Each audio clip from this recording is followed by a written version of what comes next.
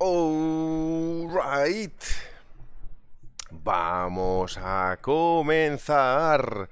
Mis queridísimos traders, bienvenidos, bien hallados a una edición más de Café y Mercados. Mi nombre es Carlos Valverde, trader y analista de mercados financieros, colaborador con TICMIL, el broker que hace posible estas sesiones y vamos a comenzar sin más dilación esta clase de Coffee and Markets del día de hoy, 10 de marzo. Lo primero que voy a hacer es compartir la publicación para que vayan entrando más personas. Un momentito, por favor.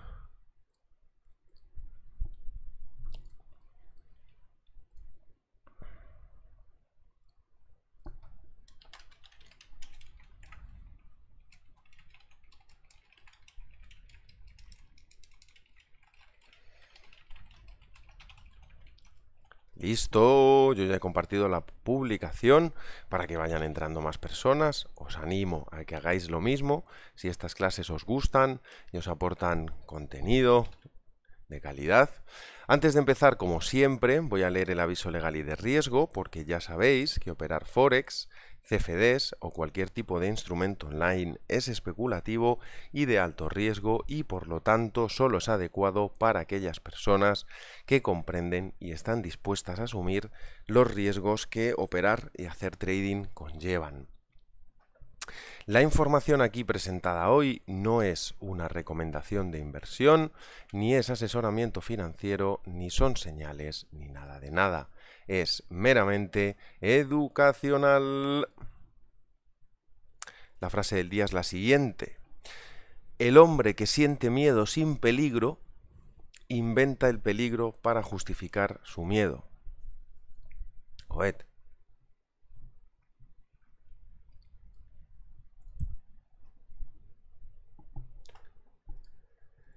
Vámonos, chicos y chicas, muy buenos días, buenas tardes, dependiendo de dónde os encontréis.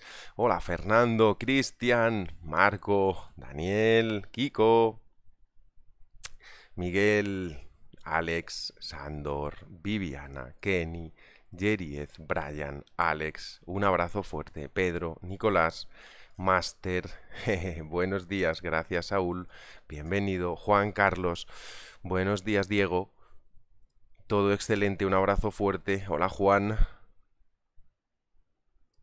Alonso. No entiendo tu comentario. Alonso. Eddie, buenas. Víctor, Eric, Gary. Hola John. ¿Me puedes comentar, Alonso, a qué se debe ese comentario?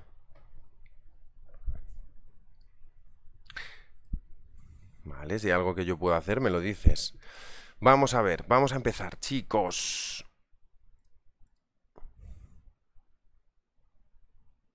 Hola José, hola Pablo, Pablo, Hendrix, bienvenidos. Vamos a empezar. ¿Qué tenemos hoy? Ha salido una noticia hace un ratito del dólar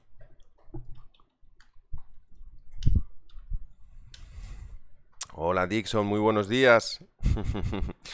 Bienvenido, hacía tiempo que no te veía. Bienvenido. Un abrazo fuerte. Vamos allá. Entonces, lo que comentaba, ha salido una noticia de la inflación de Estados Unidos que ha salido plana, la del núcleo, el core CPI. Vale, os quiero enseñar una cosa.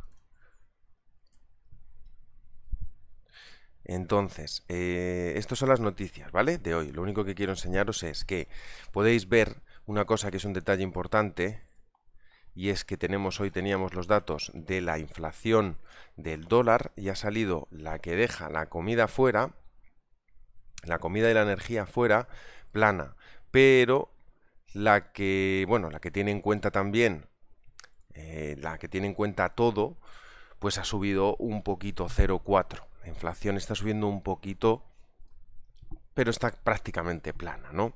Tenemos tipos del Banco de Canadá a las 4, Banco Canadá, y eh, inventarios del crudo a las 4 y media, y subasta de bonos. Esta tarde a las 17, que esto también es importante, bonos del Tesoro de Estados Unidos. De momento, el día tenemos al dólar flojito, ¿vale? Está bastante débil, bueno, está débil, sí, está débil el dólar. La libra y el australiano tienen fuerza.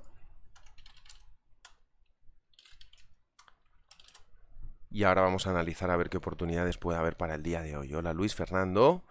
Hola Carlos José. Emer. Diego. Alexander. Edwin. Bienvenidos. Vamos a empezar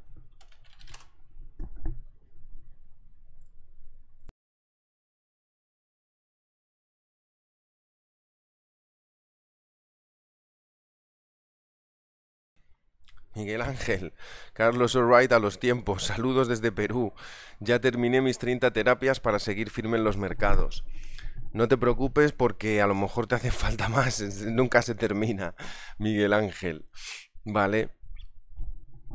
Eh, me alegro que, oye, te haya eh, servido, valido para, para algo, ¿no? Y eso es bueno, pero lo único que quiero decir simplemente es que tengáis en cuenta que en el trading, en el trading, en los mercados, la operativa, pues nunca se termina del todo. Os lo digo por experiencia propia. Quiero decir que a veces piensas, ya no, ya lo tengo, ya, ya soy bueno, ya nunca más voy a cometer un error, ya sé, ya, sé todo, ¿no? En plan, no, ya, ya está, ya no me vuelve a pasar. No, nunca se sabe y hay que estar atentos para que no nos vuelva a suceder cualquier error, cualquier tema, o sea, a veces cuando nos sobreconfiamos o pensamos que ya hemos aprendido la lección, te sobreconfías y de repente luego puedes volver a tener otro susto, ¿vale? Exacto, justo ahí es donde caes, cuando te otra vez te vuelves a confiar y dices, no, ah, si es que yo esto ya, ya lo he superado, tal y cual, lo típico. Así que siempre hay que estar atentos, siempre atentos. Euro dólar, la tendencia es bajista pero como está el dólar un poquito débil también, pues no está cayendo mucho ahora.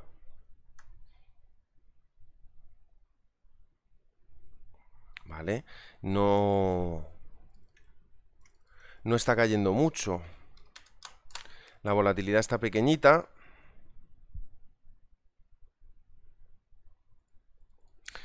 Sí, ahora entiendo también ese enfoque que dijiste en esta frase, vamos, esta frase de Eclesiastes. Estábamos hablando de lo de tocar fondo, ¿no? Pero es cierto que esa frase también es buena, viene a, a coalición de esto, ¿no?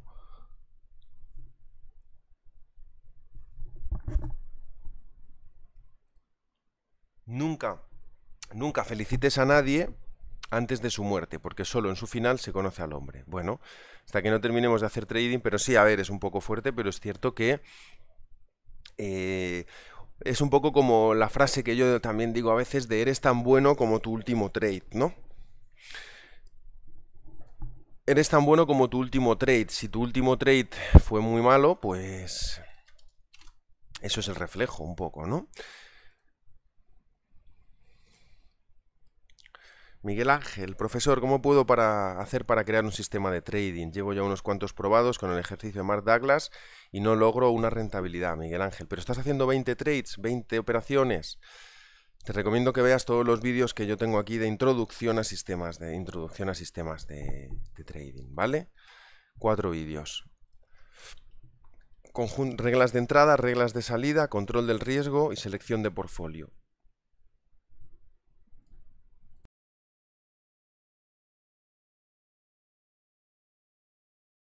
¿Vale? Luis Fernando, Carlos, en el petróleo estamos bajistas, ¿verdad? A ver, la tendencia, no sé tú, pero la tendencia es alcista en el petróleo, en diario. Otra cosa es en cuatro horas o en intradía, pero la tendencia es, es alcista, perdón, en gráfico diario, ¿vale? Hola, Pepe. Vamos allá, entonces, euro dólar, ¿qué tiene? Pues ha vuelto a caer a esta zona del 19, toda esta zona que, bueno, pues fue una zona de congestión anterior, la tendencia es bajista. Es cierto que ahora en intradía quiere, parece que está... Parece que está haciendo un pequeño cambio de tendencia en intradía, ¿vale? Pequeñito. 18.90, Fibo fuerte. Yo el euro estoy bastante neutral hoy, aunque está un pelín alcista por, el, por la debilidad del dólar, pero para mí siguen favoreciendo ventas siempre y cuando que el precio se mantenga por debajo del 19.90. Y bueno, pues para mí a lo mejor si sube un poquito, pues puede ser una oportunidad de, de vender más arriba, posiblemente. Yo estoy bajista al euro, ¿vale? Para mí, por la tendencia que hay que es bajista. Estaría bien que rompiera el 18.90 también hacia abajo. Vamos a mirar el euro libra ahora, un momentito.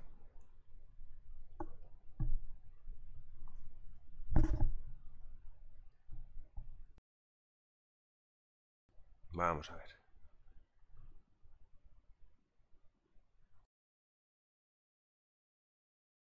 Una cosa que te digo, Miguel Ángel, de todas formas, no desesperes porque hayas hecho, probado varios sistemas o varias reglas, no desesperes porque pues ese es el proceso, ¿no?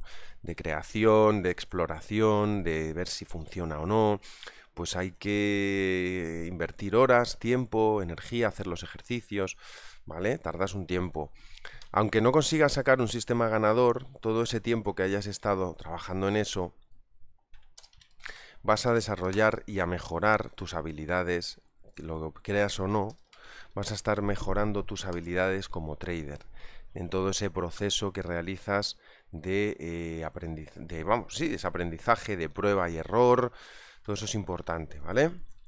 Bueno, pues esto es Europound, diario, estoy bajista, me gusta para ventas, la verdad que bueno, la volatilidad no es muy grande, pero ahí está,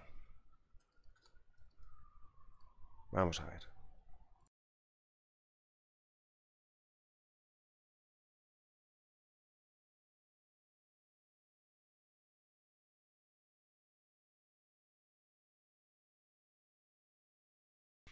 Fernando dice, a través de los diversos azares, a través de todas las vicisitudes, construimos nuestro camino.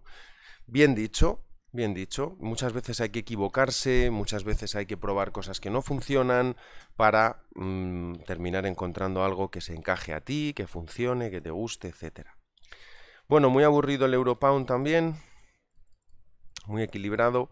Estoy bajista por la tendencia, pero bastante aburrido, bastante equilibrado. No voy a tocar nada. Eurogen Hola William, bienvenido. Abraham, Edison, ¿cómo estáis chicos? Sandor dice, encontrar el sistema no es lo más difícil. Al principio parece que sí, pero luego te das cuenta de que lo más difícil es seguir con disciplina el sistema. Estamos de acuerdo.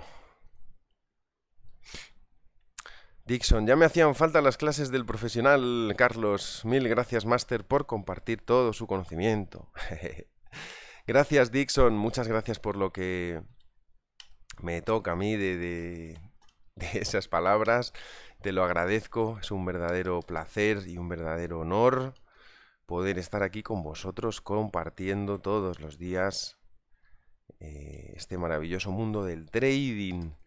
Es un placer, me alegra que estés de vuelta. Cualquier cosa que yo pueda hacer, me lo hacéis saber. Darme un segundo.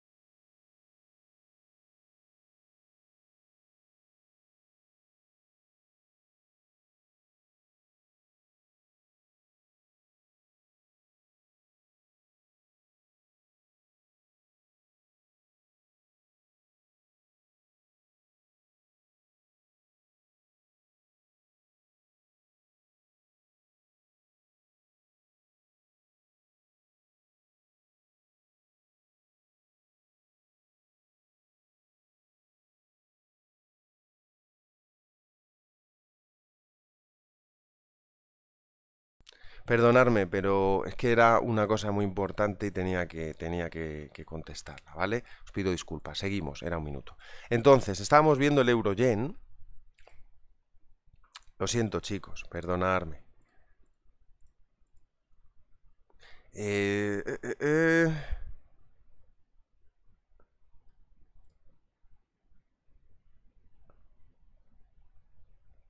Brian, tanto, una pregunta, tan tonta noche, si me lo pude responder, ¿se puede hacer trading con sueño? Uno viene cansado y eso es arriesgado, hay que estar descansado para ver el mercado. ¿Tú qué crees, Brian? Vamos a ver.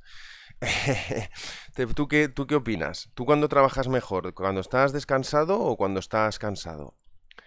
Si fueras un doctor, un médico y tuvieras que hacer una operación a alguien o intervenir algo, ¿cuándo lo vas a hacer? ¿Cuando hayas dormido o cuando estés eh, sin dormir? Piénsalo. Brian, tú piénsalo. ¿Vale? Bueno, esto es euro-yen. Yo estoy alcista mientras el precio siga por encima del 128.67. Está muy, muy equilibrado, muy muy aburrido el euro yen hasta que no salga de esta zona. Estoy neutral, ligeramente alcista por la debilidad del yen. Pero es un par que ahora mismo a mí no me gusta mucho para operar, a no ser que... Eh, que... A no ser que quisiera buscar un tipo de trading de ping-pong trading operativa de lateral. O sea, es decir, vender arriba, comprar abajo, buscar esta zona, que oye, que también da buenos pips, ¿eh? En mercados en rango también se puede hacer bastante dinero. O sea que bastante buenos trades, quiero decir, ¿vale? No tenemos por qué siempre operar en tendencia. Si identificamos una zona de rango lateral que nos parece atractiva y interesante, pues siempre se puede operar también.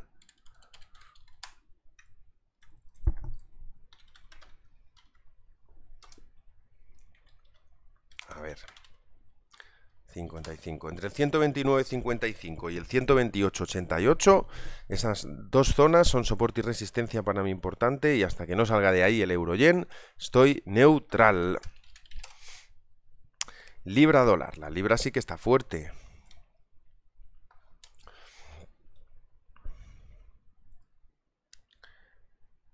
Eh, la libra sí que sí que está fuerte, más que el euro, ¿no?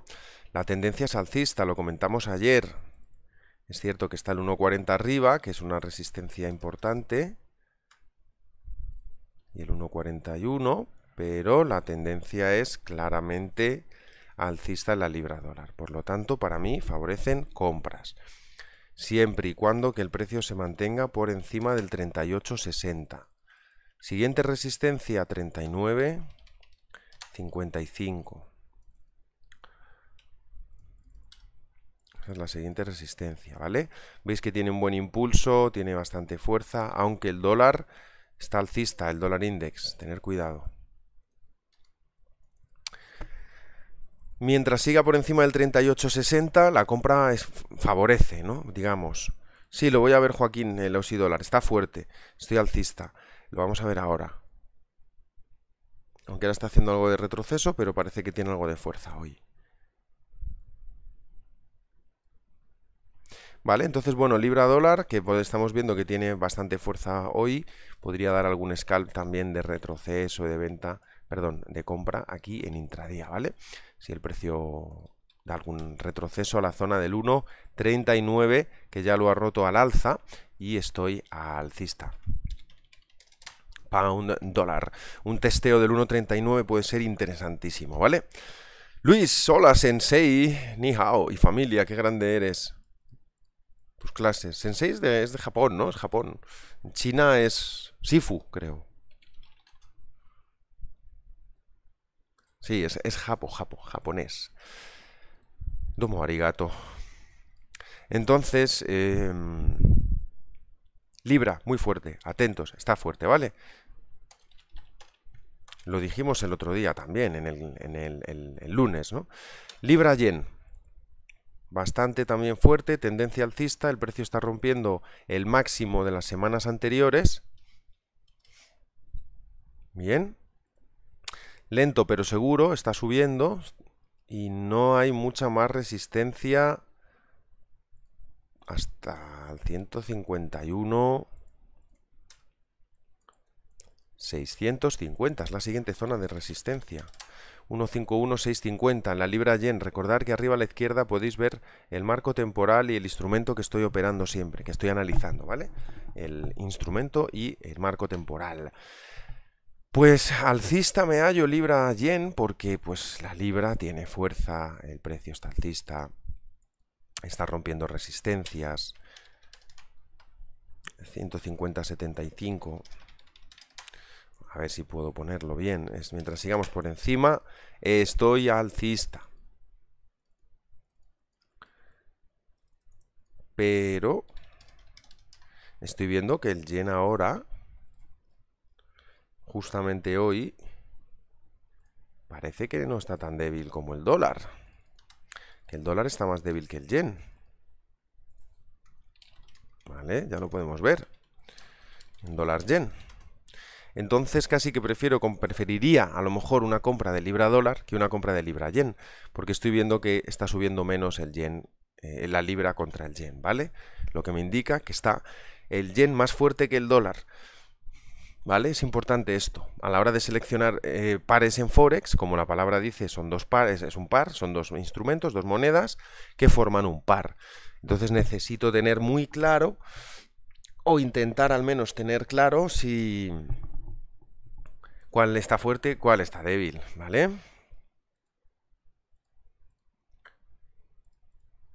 Por supuesto, siempre hago el mismo orden, lo sabéis. Euros, libras, ahora voy a los dólares, dólar yen es el siguiente, y al terminar miro el petróleo, el australiano, el oro e índices, lo que nos dé tiempo, ¿vale? Vamos a mirar el dólar yen ahora, el dólar yen tiene una tendencia alcista, para mí está muy fuerte, ha hecho este trade que comenté, que yo lo, tomé aquí en clase con vosotros, de cubrir del 382 al 618 súper rápido, cubrir aquí y ahora está por debajo. Entonces eso le da un pelín de debilidad, pero sigue estando para mí alcista en semanal. Eric, siempre que quieras saber si algo está cambiando de tendencia, o sea, a mí cuando me preguntáis de que si algo está cambiando tendencia, para mí la tendencia cuando hablo de la tendencia, estoy hablando de semanal diario. No en 15 minutos, ni en una hora, ¿vale? Entonces, si me preguntáis por la tendencia sin especificar el marco temporal, pues entonces significará que miraré la tendencia de semanal y de diario. ¿Vale? Está muy claro, Eric. Para mí no ha cambiado la tendencia de gráfico semanal, sigo alcista, y en diario sigo alcista. La tendencia no ha cambiado para mí. Para mí no ha cambiado. Si vamos a cuatro horas, muy justo. Y en una hora se podría decir que sí que está intentando cambiar porque todavía no lo ha conseguido. En una hora. Bien. Entonces, ¿Cómo sé si ha cambiado o no? Si el precio rompe hacia abajo el 108.400 y se mantiene por debajo y estos días sigue cayendo, para mí habrá cambiado la tendencia en una hora. Y eso nos puede llevar a que cambie luego la de cuatro horas y luego cambia la de diario y luego cambia la de semanal. Obviamente van cambiando. Primero cambia la tendencia de un minuto, de 15, ¿vale? Poco a poco. Pero la tendencia principal en el dólar yen sigue siendo alcista. Entonces, bueno, esto de hecho parece una trampa para comprar, parece una trampa bajista. Para mí parece incluso para compra.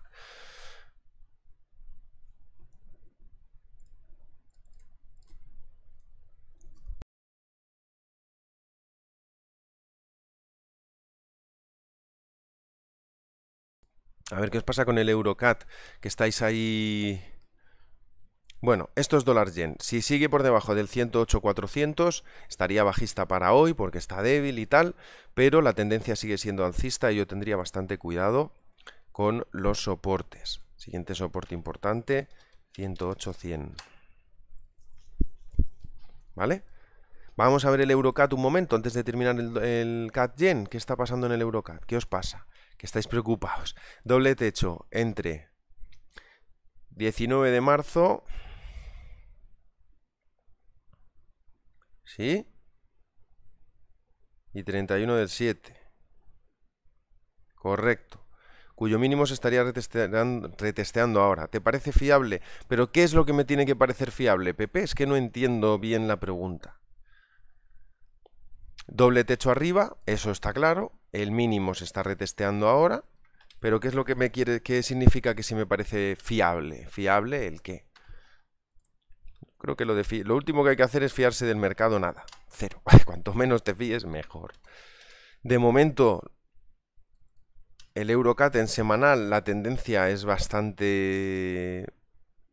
bastante fea, por así decirlo, o cutre, o con muy poca limpieza. Pero la tendencia para mí es bajista, de antemano, ya de aquí arriba. Cuando el precio es incapaz de hacer los eh, nuevo máximo aquí, empieza a caer aquí, para mí ya es bajista.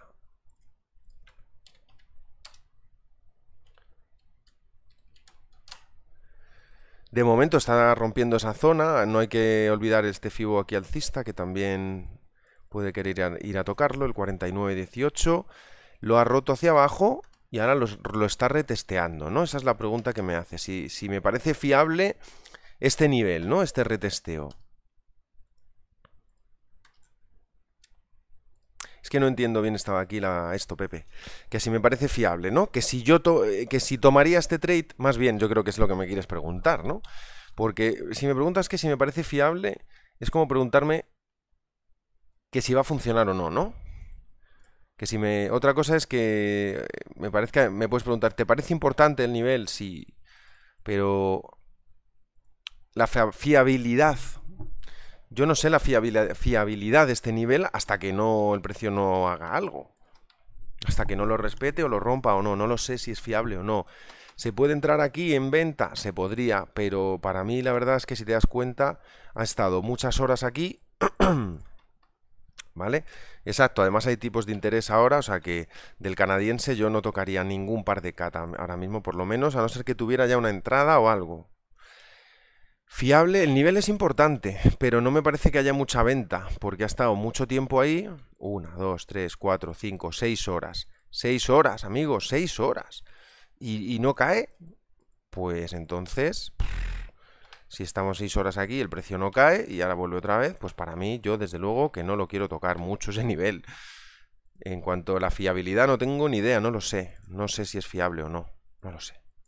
Pero desde luego que yo no lo quiero tocar para venta mm, y menos, como dice Sandor ahora, cuando tenemos tipos de interés del canadiense en media hora y, no, y eso puede generar mucha, mucha volatilidad, ¿no?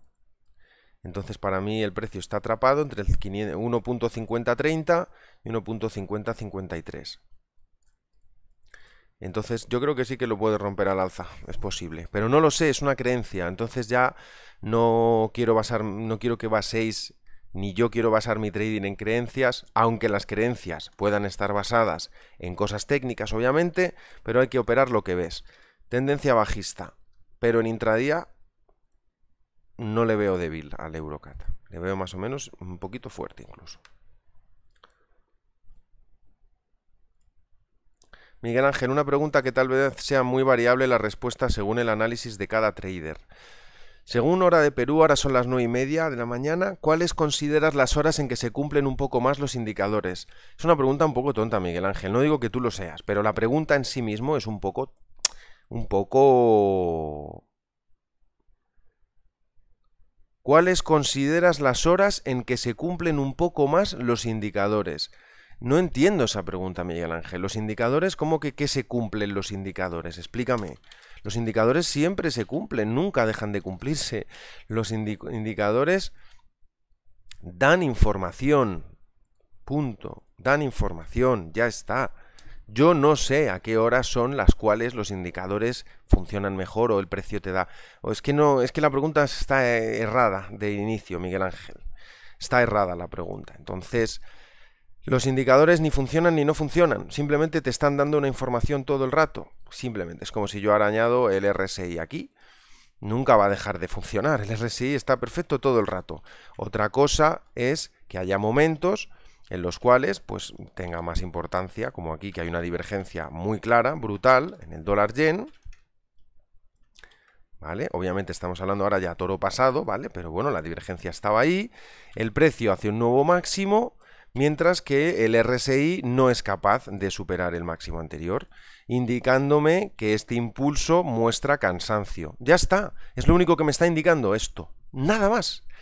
Y pues después se ha generado un pequeño movimiento bajista. Ah, eso es otra cosa, amigo, claro.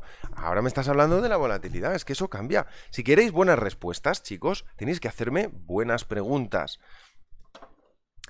Yo voy a intentar operar siempre las horas de mayor volatilidad. Las horas de mayor volatilidad casi siempre van a ser la apertura de Londres por la mañana y la apertura de Estados Unidos. Y ahí es cuando yo intento operar. ¿Cuándo van a funcionar mejor los indicadores o no? Pues no lo sé. Es como preguntarme si sé el futuro. No lo sé, porque si supiera el futuro, pues no estaría aquí. ¿No? Estaría en otro sitio. Sería un poder ya, un poder divino, casi. ¿Sabes el futuro, no? Pues no se sabe. No se puede saber. Es imposible. ¿Por qué? Porque no existe todavía. No, existe el futuro todavía. No hemos llegado a ese momento. Entonces, claro, por mucho que yo te diga, si quieres saber a qué hora o en qué pares o en qué momentos tú... Em, yo ahora te doy mi consejo de eso, ¿vale? De las horas de Perú. ¿Quieres saber en qué momentos funciona mejor? Te pones un conjunto de reglas, las escribes y haces un test, un backtest o lo que sea, claro, para encontrar los momentos en los que mejor funciona. Porque yo no sé ni de qué indicador me hablas, ni de qué patrones, ni nada. Yo te digo, Miguel Ángel, si yo fuera un ciudadano, una persona que vive en Latinoamérica, en Perú, en Colombia, en Chile, donde sea, en México, en cualquier país de Latinoamérica, yo no operaría la sesión de Londres. Estaría durmiendo por la noche, a las 3 a.m. que has puesto tú. Estaría durmiendo, durmiendo tranquilamente, pero la apertura de Nueva York es así que la...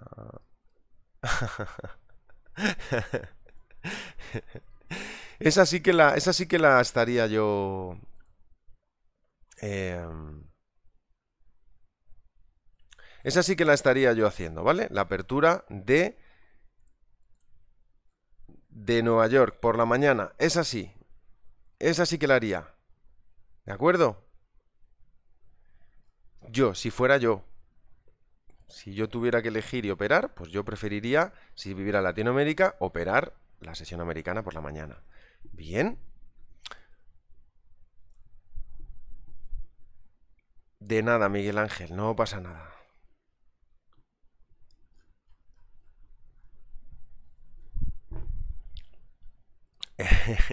Rolando dices, claro, si supiera el futuro, Estarías con Sandro, el que da el número de la lotería. Correcto.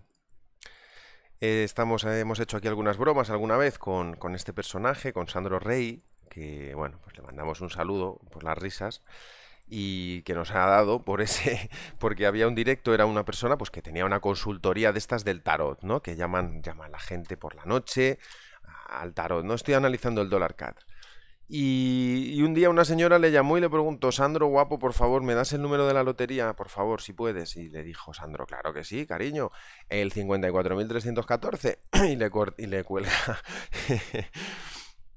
Entonces, ¿quién es, quién, tiene la, ¿quién es peor? ¿El que se inventa el número, Sandro, y, y sabe que le está mintiendo? ¿O la señora que llama preguntando por el número de la lotería? ¿Quién, es, ¿Quién tiene más culpa o quién, digamos? Pues casi que la señora que llama y se lo cree. ¿Qué tenemos aquí? A ver si algo de lo que os he enseñado eh, vale para algo. ¿Qué hay aquí ahora? ¿Qué tenemos aquí en DollarCat? ¿Qué condición de mercado hay? ¿Qué está pasando aquí? ¿Y qué me da esto de información?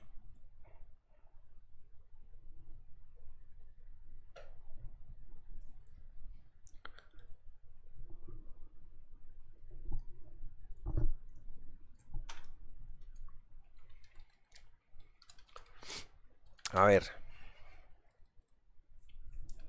Pedro, en el intradía normalmente funcionan mejor las estrategias que uses. Eh, perdón, a ver, eh, las estrategias tendenciales con los indicadores que uses, ya que la sesión europea suele ser más tendencial, americana contra tendenciales. Bueno, tenemos que, hay que descubrirlo, hay que buscar, hay que analizarlo.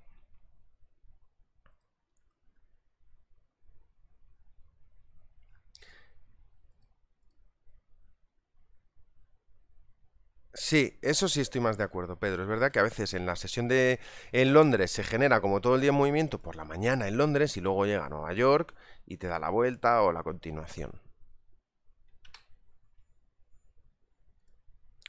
Sí, os he preguntado la condición. La verdad que me, importa poco el patrón. O sea, le podéis poner el nombrecillo que queráis.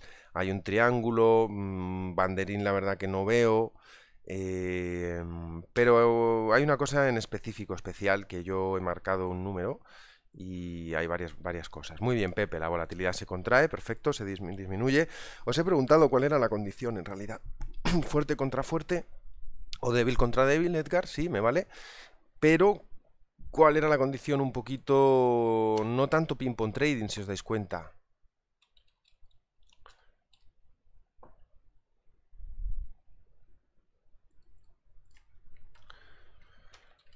Esto os lo digo porque, vale, no es fácil de ver, pero luego, cuando ya os lo enseñe, ya tenéis que tenerlo claro, ¿vale? El 26.40 es un precio justo en el dólar CAT. El precio tiene una aceptación del precio. Hay una, un equilibrio, mm, no incluso ya de ping-pong, sino de decir, un equilibrio en el cual...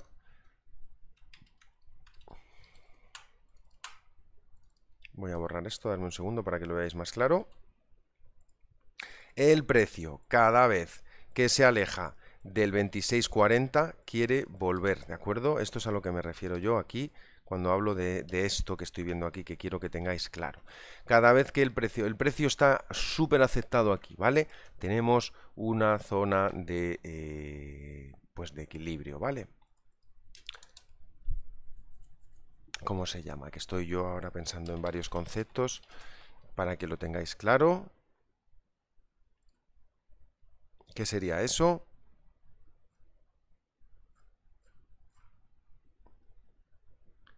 ¿Qué es lo que sería eso?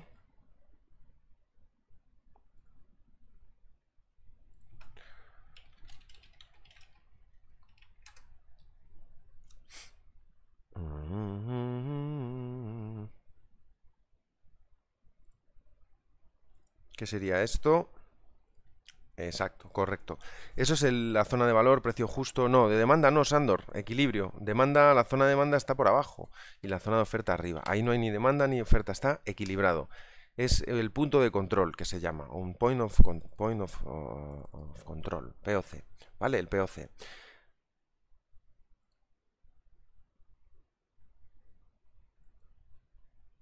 Es el punto medio, chicos, es el medio, el punto de control. ¿Qué significa esto? Que aquí puedes aplicar una estrategia de reversión a la media. No, distribución tampoco, no lo sabemos, Sandor. No sabemos si es distribución, si es acumulación, ni idea. Puede ser acumulación porque viene precedido de un movimiento alcista. Entonces, esto es el point of control, el precio justo, la zona media, el 26.40. Justo el medio es eh, donde más tiempo se, se encuentra el precio. Olvidaros de consolidación Nada. Entonces, el precio cada vez que se aleja del 26.40, se aleja, quiere volver otra vez a esta zona. Está a gusto ahí. Cuando el precio se aleja hacia abajo, quiere volver otra vez a esa zona. Precio justo 26.40 y aledaños. Toda esta zona es una zona de, de, de equilibrio. Punto de control, volumen cero. Eso de volumen cero ya también ahí, eso también Gerardo, eso de volumen cero te lo estás inventando. O si lo has leído en algún sitio, explícame lo que es volumen cero. Porque lo de volumen cero es imposible. Eso no existe. Siempre hay volumen, siempre hay actividad. Lo puedes llamar punto de control, lo puedes llamar zona de equilibrio, lo puedes llamar precio justo, lo puedes llamar balance incluso si quieres lo te puedes llamar de muchas maneras, pero la cuestión es que el precio tiene miedo a salir de ahí. Cada vez que se va, quiere volver a esta zona. Simplemente que lo tengáis en cuenta. Está equilibrado, muy equilibrado ahí en esa zona. No sabemos si es acumulación o distribución, no tenemos ni idea. Todavía hasta que no termine de romper hacia un lado, aunque la tendencia es bajista y es posible que sea distribución.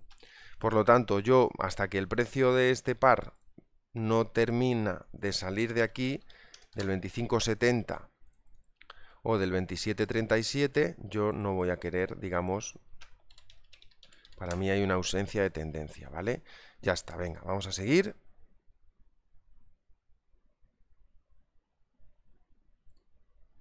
Martín, yo alguna vez he pensado eso y parece como una buena idea, ¿no? Pero no lo sé, hay que testearlo.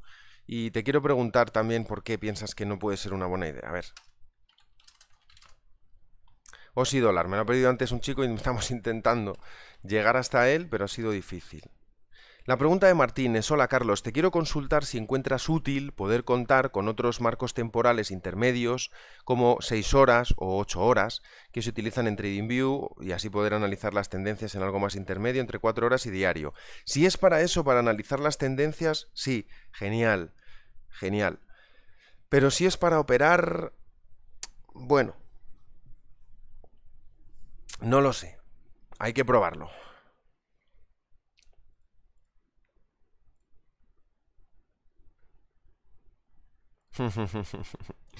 Buen comentario, Manuel, que lo he leído, que lo he leído ahora.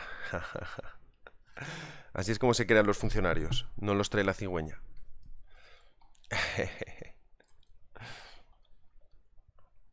¿Por qué puede ser peor operar con un marco temporal raro? Esa es mi pregunta. En vez de una hora, pues de dos horas, H2.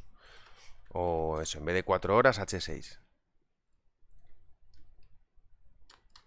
¿Por qué? Para operar, he dicho, no para analizar. Que bueno, eso ya no tiene tanta importancia para mí, pero...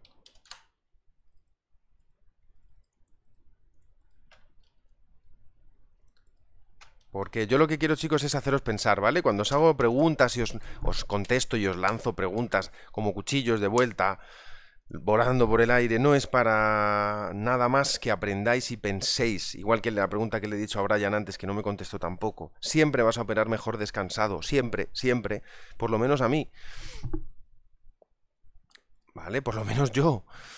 Entonces, muy bien, chicos, muy bien.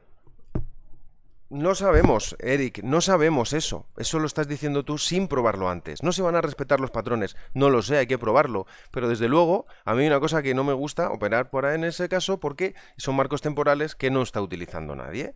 Entonces, cuanta menos gente lo utilice, para mí peor. Cuanta más gente lo utilice, para mí mejor, porque más gente lo ve y más gente toma decisiones debido a eso. Más decisiones, más importancia. Más importancia, mejores patrones, en mi opinión. Pero en realidad no creo que sea tan importante, ¿vale? Pero a mí, pues, es uno de los motivos por los cuales uso los marcos temporales más usados, los más estándar. 15 minutos, una hora, 4 horas, diario, semanal. Pero Martín lo dijo que lo quería para, para analizar la tendencia. Que eso sí me parece buena idea. Para tener un marco temporal entre 4 horas y diario. Que hay ahí, pues hay una diferencia importante, ¿no? H6, H8. Sí, está, para eso correcto. Pero para operar lo veo algo peor porque quizás menos traders los utilicen. Esos marcos temporales y veas otros patrones de velas diferentes y otros, sobre todo eso. Los patrones de velas que verás serán diferentes. Pero tampoco creo que sea ultra determinante, pero ten eso en cuenta siempre, esa pregunta. Cuando empecéis a hacer cosas muy especialitas, ¿Esto soy yo el único que está utilizando esto? ¿Me da realmente una ventaja esto o no? La única manera también de saberlo a lo mejor es probarlo.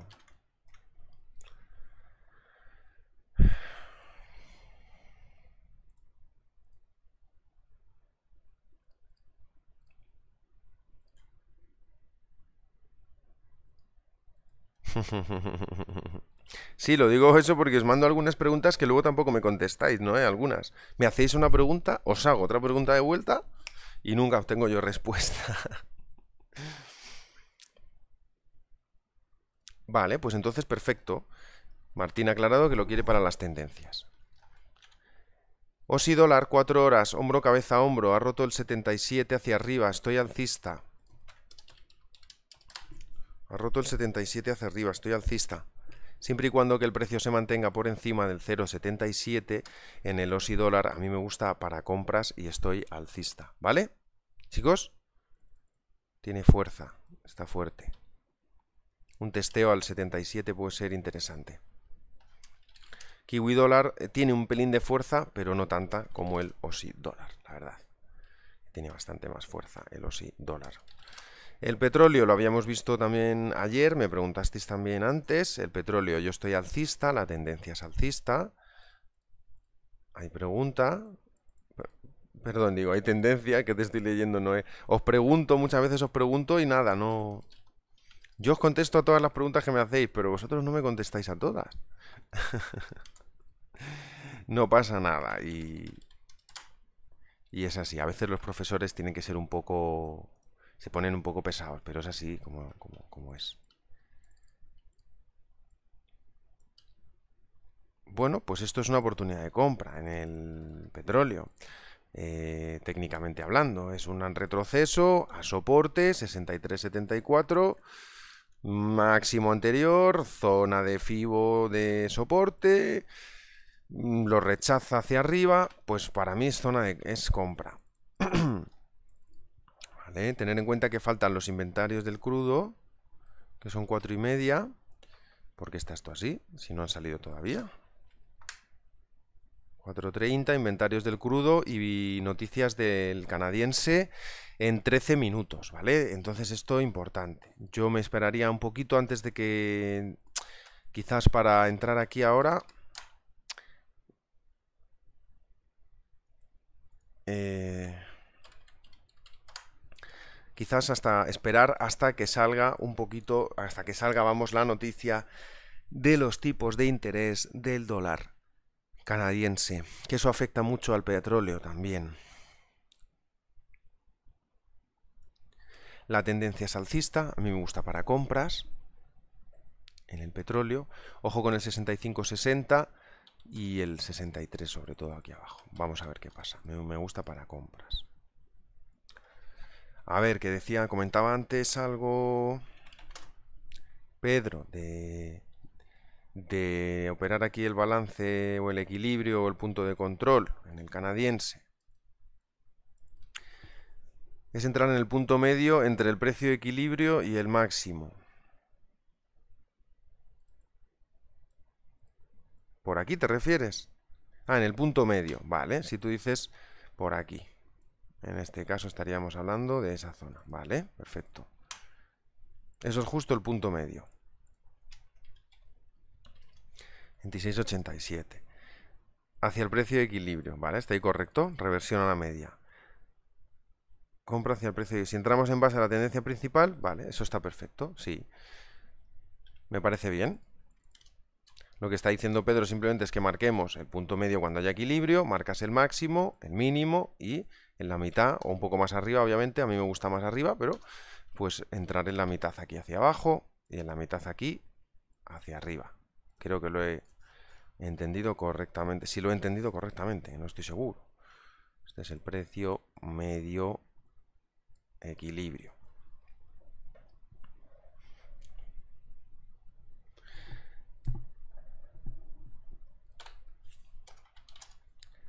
Perfecto, Pedro. Correcto. Yo ya tengo tu, idea clara. El oro. ¿Qué le pasa al oro? Tendencia bajista, un FIBO muy grande de hace mucho tiempo. 1684 se mantiene.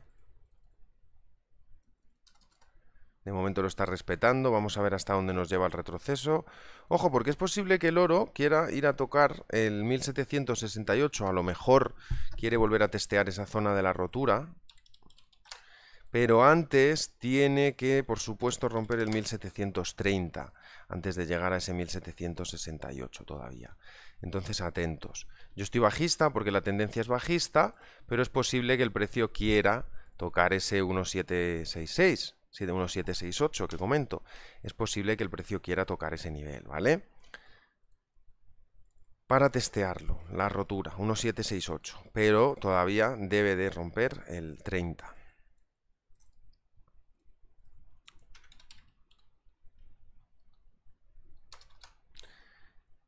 Yo estoy ligeramente alcista.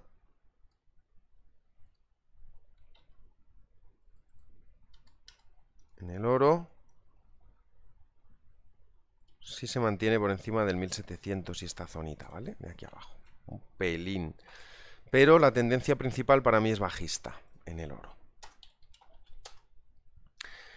Dow Jones a punto de hacer un nuevo máximo histórico mientras hablamos, lo acaba de hacer ahora, de hecho, justo en este mismo instante, hace unos escasos 3-4 minutos, estáis haciendo historia, estáis viviendo un nuevo máximo histórico del Dow Jones. Este es el Dow Jones, gráfico de un minuto. Ese es el máximo nuevo que acaba de hacer, 32.168. Nuevo máximo histórico en el Dow Jones. Estoy alcista, pero ojo, que puede también dar una rotura falsa del máximo histórico y caer con fuerza. Nasdaq, ya estamos por encima de la estructura también, 12.850, 12.700, estoy alcista otra vez de nuevo, el índice de Nasdaq alcista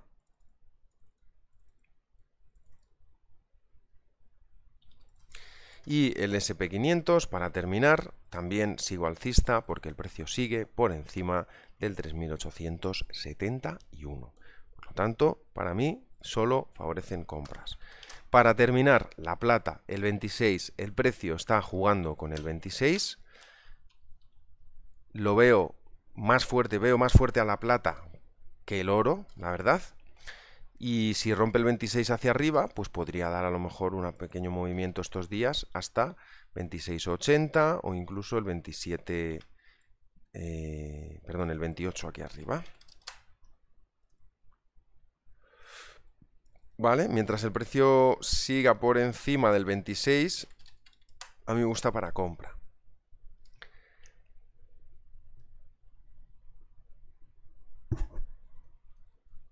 Pero la verdad es que está muy la plata, muy mm, neutral también. No me gusta mucho el comportamiento que está teniendo. Si nos vamos a intradía, bueno, pero no hay mucha tendencia, ¿vale? En la plata, está bastante equilibradillo.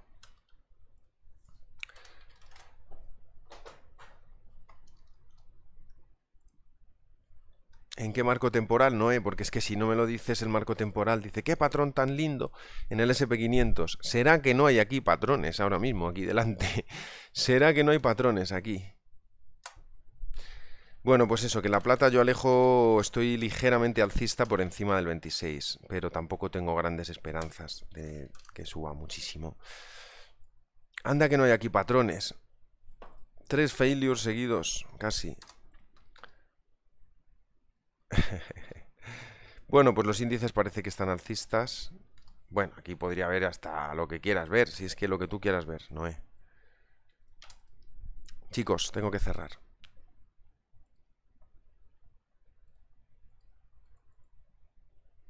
Tengo que cerrar y os voy a dejar tranquilos porque tengo que venir ahora. Además, vengo en media hora, más o menos, 40 minutos. Estoy aquí con vosotros otra vez y voy a revisar las noticias del dólar canadiense y las noticias del eh, petróleo. Y sepáis que también encaja que esto, al estar así, también como que las noticias, pues eh, está esperando el mercado a las noticias, ¿no? Cuatro horas, hay respuesta, increíble. Bueno, que chicos, que os voy a dejar tranquilos, porque vamos a. Tengo. Hay noticia ahora, pero quiero que estéis vosotros solitos y que seáis capaces de. Bueno, pues si estáis operando, ser capaces de analizar todo, ¿vale? Cuidado con los pares de canadiense, por favor. Cuidado con los pares de canadiense, que hay noticia ahora de los tipos de interés y del petróleo. A las cuatro y media, que yo estaré aquí con vosotros. Ha sido un verdadero placer, como siempre, estar aquí con todos vosotros. Muchísimas gracias por vuestros comentarios. Que nadie se tome nunca nada mal, ¿vale? Si le hago alguna broma o le hago alguna pregunta tonta, que nadie se moleste, porque siempre es con todo mi cariño y mi buena intención de aprender. ¿Vale? De que aprendáis.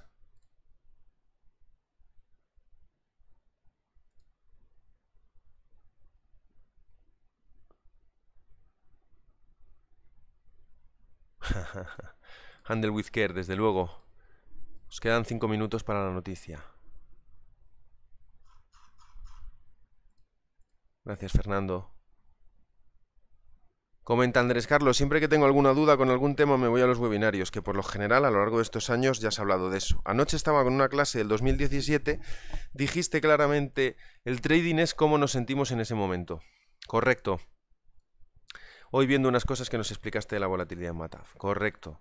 Y es así, y es cómo nos sentimos. Eso es muy importante, lo sigo diciendo, y piensa en ello, a ver qué te parece esa idea. Muchas gracias, Eric.